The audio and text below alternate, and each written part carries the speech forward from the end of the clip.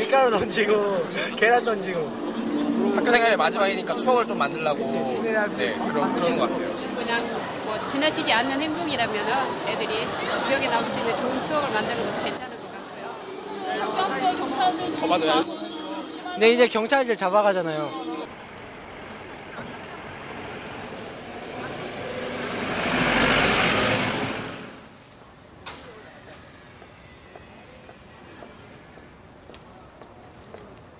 경찰 자체에서 그 올해만큼은 그걸 이제 예방 내지는 어- 차단시키겠다는 그런 의지가 있는 거죠.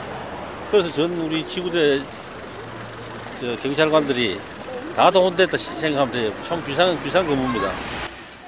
그러니까 학생들은 문제 집단 이런 걸로 낙인 찍어서 보는 그런 좀 편견이 반영된 그런 정책 같고요. 학생들 소지품 검사를 하거나 졸업식 그 하는 안에까지 들어와서 학생들을 감시하겠다라고 하는 게 학생 입장에서 굉장히 위압적일 수도 있고 그저 즐기고 놀기 위해서 갖고 들어가는 이런 것들까지 전부 다 경찰이 뭐 소지품 검사라고 압수를 한다.